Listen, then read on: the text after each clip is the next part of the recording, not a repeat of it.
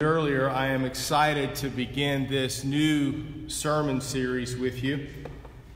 When you are newly appointed at a church, you usually come in not knowing about, very much about your congregation or the community. You know what you know, but you don't know much. And that's a definite amen, right? They're not even paying attention to me this morning. Hello, amen section. There's an amen. Okay. There is much that I'm confident about concerning the church in Jesus Christ. I am confident about what it is we're supposed to be doing as the body of Christ here in Ironton.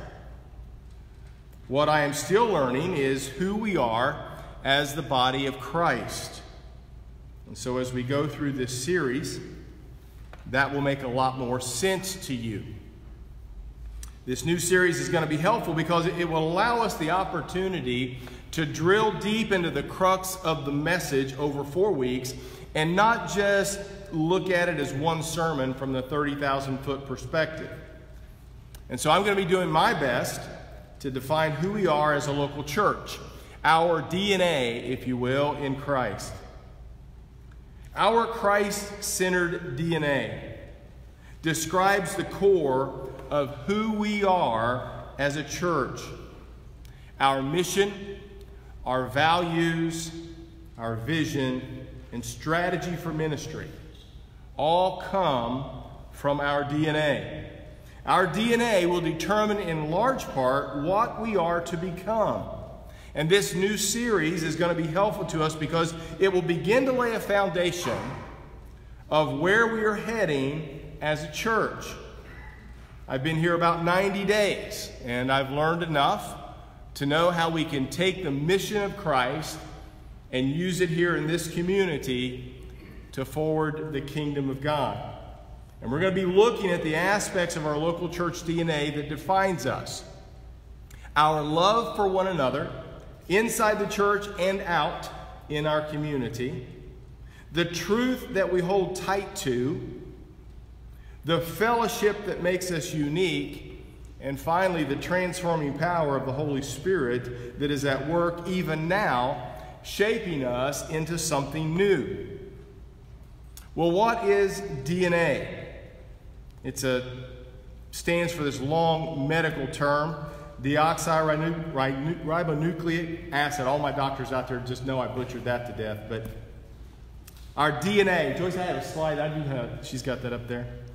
Um, our DNA is what makes each of us unique. It's what makes some of us have green eyes and some of us have blue or brown eyes. Your DNA is what makes you you. And you share DNA with your ancestors.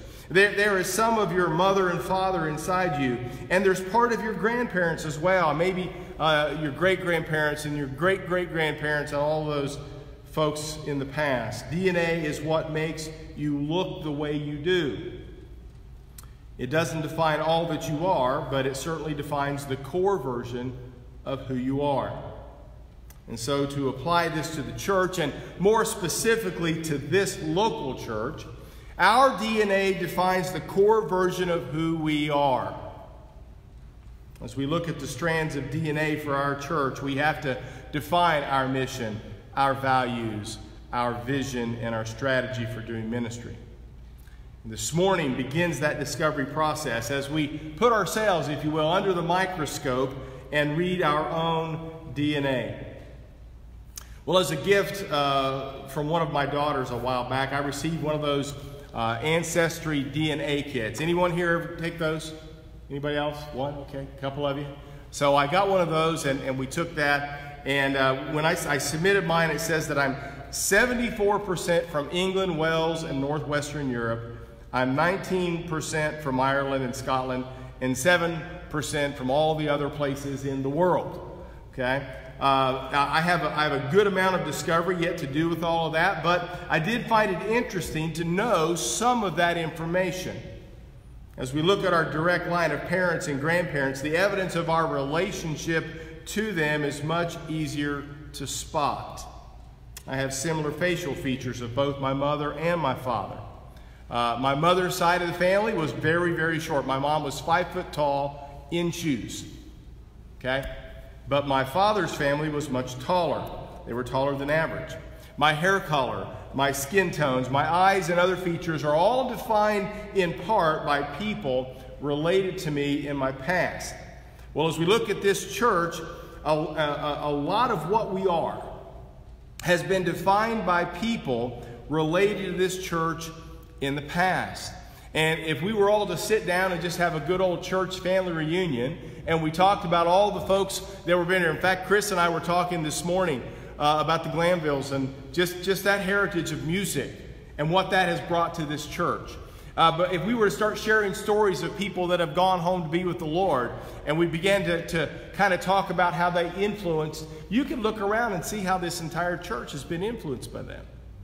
As I went back and looked at the history of this church and the, the many, many pastors that have been here, uh, the people who uh, started this church, and uh, this church actually was started uh, back 167 years ago by a group of people that believed this, this community needed to hear the gospel of Jesus Christ from a Wesleyan perspective. They believed it was time to birth a Methodist church here in Ironton. And the first Methodist church, uh, first sermon ever preached here in Ironton was in 1851. The first church, Spencer Chapel, was built in 1852. And over the years since then, numerous people have been faithful to preach the gospel of Jesus Christ and serve his mission in this community and around the world. So, to get us going this morning, let's take a look at the mission of the church and look to find some application there that will help us define our role in accomplishing that mission. So, you can follow along as I read a very familiar passage from Matthew 28. Matthew 28, it says, Then Jesus came to them and said, All authority in heaven and earth has been given to me. Therefore, go and make disciples of all nations baptizing them in the name of the Father and of the Son and of the Holy Spirit, and teaching them to obey everything I've commanded you. And surely I am with you always to the very end of the age. Well, we know that passage. We know it is the Great Commission of Jesus Christ. Another word for commission would be charge or orders. And so when Jesus gives us this charge to go and make disciples of all nations, it gives us a reference point. From this reference point, we should be able to trace back everything we've ever done as a church or will ever do as a church to this single mission to go and make disciples of all nations. This single point birthed the church. It is the initial cell, if you will, that started it all everything the church at large has ever done should point back to this single fundamental purpose. There are many workings and ministries of the local church, but all of them, at their core, should have this single element of making disciples. If it doesn't, then it's really not part of the church. And let me repeat that more clearly if what we do as a church does not have some element of making disciples of all nations, it really isn't part of the church. That's quiet. That's weak. Amen. There we go. Got to wake them up this morning. I don't know what. So we can sit and we can list a good number of things that are associated with church, and arguably most of them, at some level anyway, have to do with making disciples, but there may be some that have absolutely no connection with making disciples. It can be all kinds of things, but if it doesn't stem back to that one single mission, it should not be part of the church. So, several things I want to go over this morning. First of all, why does church exist? Why does church exist? Well, first, the church exists for us so that we will grow in the grace and knowledge of Jesus Christ. And that is the definition that I like to use for the, being a disciple of Christ. someone that is growing in the grace and knowledge of Jesus Christ. And you'll hear me say that a lot. That's what, that's what a disciple is someone who is growing in the grace and knowledge of Jesus Christ. The writer of Hebrews encourages us by saying, And let us consider how we may spur one another on toward love and good, need, good deeds, not giving up meeting together as some are in the habit of doing, but encouraging one another. The church exists so that the followers of Christ will have a mechanism to encourage one another toward love and good deeds. God created us to be in community with one another. You need to be around like-minded, like-minded followers of Christ so that your own faith will grow. In the current book that I'm writing called Big Faith, uh, this is that pillar of faith that I call divine collisions. It is the connecting of people that is supernaturally brought together by God to help our faith stay strong. This is why I believe if you're a Christian, you must be part of a local church. It is the body collective that helps us stay strong in faith. The church also exists so that the followers of Christ might become spiritually mature. The Apostle Paul wrote, So Christ himself gave the apostles, the prophets, the evangelists, the pastors, and teachers to equip his people for works of service so that the body of Christ may be built up and get this, until we all reach unity in the faith and in the knowledge of the Son of God and become mature, attaining to the whole measure of the fullness of Christ. Mature, growing up together in Jesus. Why does the church exist? The church also exists to reach the lost for Christ. My previous sermon series dealt with how we love God and love our neighbor. This series is founded on the Great Commission to reach the world for Jesus.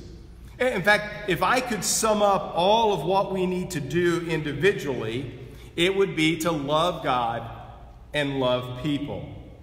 If I could sum up what we need to do corporately, it would be to reach the world for Christ. Love God, love people, reach the world for Christ. That's it. Nine words. Nine words. That's as short as I can make it when we're talking about the mission of the church. Love God, love people, reach the world for Christ. Jesus said of the church, and remember the church is not this building, it's all of you. He said, You are the light of the world. A town built on a hill cannot be hidden. I don't know if you've ever taken the time maybe to go to the top of Hanging Rock or one of the other high points uh, around the city and looked over Ironton before. I've done that a few times. And I look over all of that, and the thought that always comes to me when I'm up there looking over the city is that we need to claim it for God. Because a city on a hill cannot be hidden. The darkness of this world should see hope when they look at this church. We are the light that drives away the darkness in those who are lost. Jesus said in Mark 16, 15, by the way, this Mark's version, this is the Great Commission according to Mark. He says, Go into all the world and preach the gospel to all creation. Now, when he says preach there, he's talking about evangelism, sharing your God story with the world. And later this year, I'm going to be touching more on how we do that relationally and missionally. But part of our call as the church is to reach the lost. Next, the church exists to make disciples. Well, some of you would think that if we're reaching the lost and bringing them to a saving faith in Christ, then we have made disciples. But that's just the beginning. That's simply the initial step of making disciples. If you go back to what I said, the definition of a disciple is it's someone that is growing in the grace and knowledge of Jesus Christ then you know that leading them to salvation is just the beginning. We must make disciples of them. And that is where I believe the church at large has let down over the past two or three decades. We have done a poor job of helping people grow in the grace and knowledge of Jesus Christ. And there's a number of things that we can do to fix that here locally. So I want to take a few minutes and give us some application. some thoughts on what our mission at Ironton First needs to be if we're going to live it out in the life of the church. First, we must all make the paradigm shift that church is something we do, not something we attend. Do you get that? We do church, we don't attend church. Let me unpack that. This building is beautiful, but it is not the church. It is the place we gather to worship, but it is not the church. We, the people that follow Jesus Christ, are the church. Church is something we do. I church, you church, we church. We church together. By that I mean that we are actively engaged in our faith relationship with Christ. Everywhere we go and everything we do is part of us actively living out our faith in Jesus. If we are not regularly exercising that faith, it will atrophy just like our bodies do. When we don't actively use the parts of our body, they atrophy. I'm feeling that today, by the way. You know, Joyce and I are building a big boy's bed for my grandson, and I was using muscles I don't use very often, and today they hurt. If we don't use our bodies, they atrophy. If we don't exercise them, they atrophy. And it may be some time since you last exercised your faith in Christ. Those spiritual muscles, when you begin to exercise them again, they might be a little sore at first as we get up off of our apathy and begin to use them again. But over time, it's going to get easier. Living out our faith is all about taking your God given gifts and using them for the body of Christ. And by the way, each and every one of us has been spiritually gifted for the kingdom of God. So don't ever tell me, oh, I don't have a gift, Pastor. Yes, you do. We might have to find it, but you've got one. We all have gifts. When every part of the body is active, then the whole body is healthy and fit. Secondly, we must be about the business of reaching the lost and making disciples of them. If we do not make this our top priority, of this local assembly, then this building will be nearly empty in the next decade or so.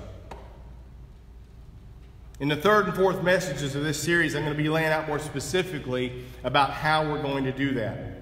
But let me announce the very first step that we're going to be taking toward reaching the lost of our community.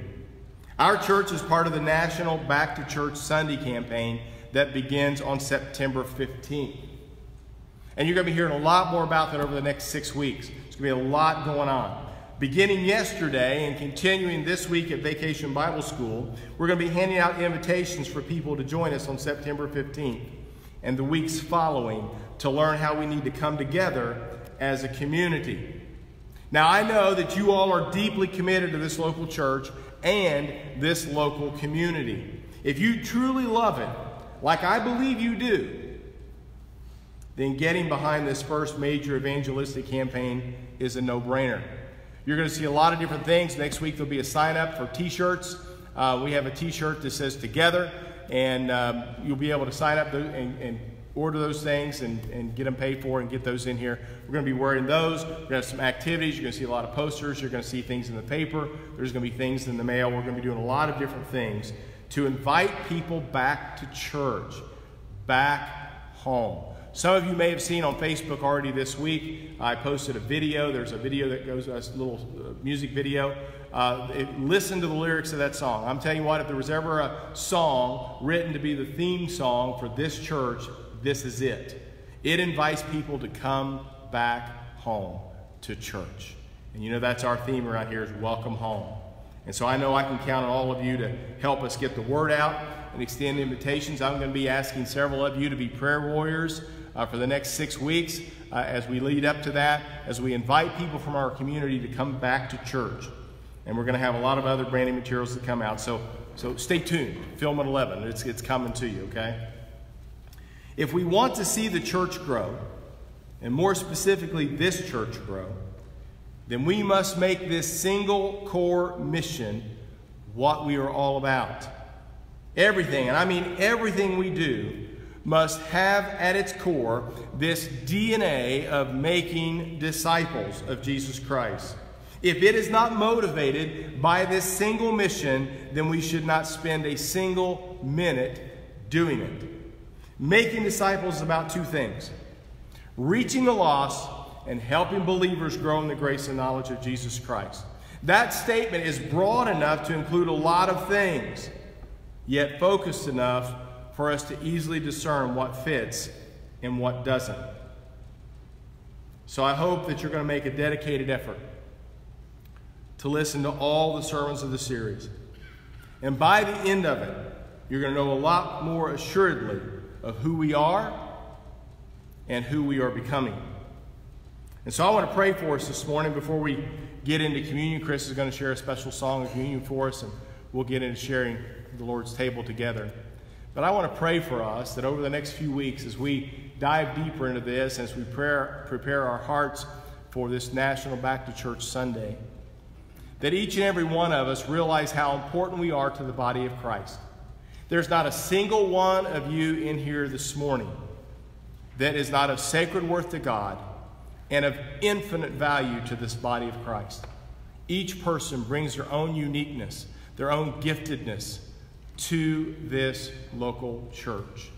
And, folks, if we're going to grow as a church, if we're going to make disciples of Jesus Christ, we must, at our very core, have the Great Commission as our mission as we go forward. Let me pray for us. Heavenly Father, we pray that as a church, Lord, you would lead us. That you would help us understand that each and everything we do is about making disciples of Jesus Christ. And a lot of those things are going to be fun and they're going to be easy and they're going to be celebratory. And a lot of those things are going to be tough and they're going to be hard. But Lord, you've called us to reach the world for Jesus Christ. As a body of Christ, may you bring us together so that your church, the way you have uniquely gifted us, functions in a way that's healthy and effective. Lord, we give all of this to you because we know we cannot do it in and of ourselves. And we ask it in the strong and powerful name of Christ, our Savior, who commissioned us to do this. Amen. Chris?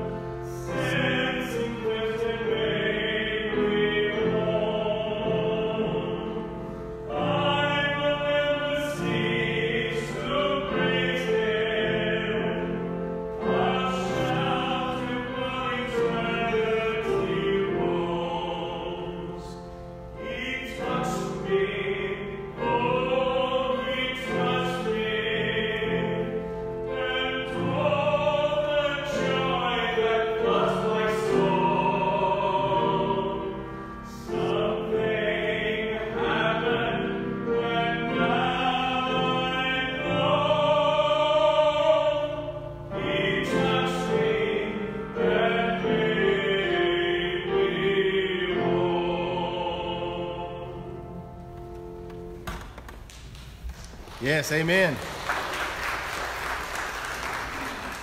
It's one of my favorite hymns, the Dear Saint of God, that's uh, home to be with the Lord several years ago. It used to be his, his theme song, and he would sing that in church a cappella, and, and uh, it was so beautiful, just like it was as Chris. Thank you, Chris, so much. In the Eucharist, we are touched by God's love and grace toward us. In the Methodist Church, we experience the mission to make disciples as we open our arms and our table to all those that have earnestly repented of their sin and seek to live in peace with one another. And so let us pray together. Merciful God, we confess that we have not loved you with our whole heart we have failed to be an obedient church.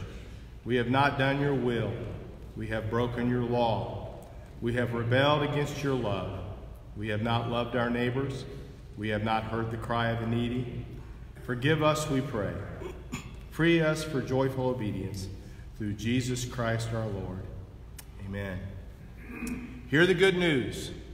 Christ died for us while we were yet sinners. That proves God's love for us in the name of Jesus Christ, you are forgiven.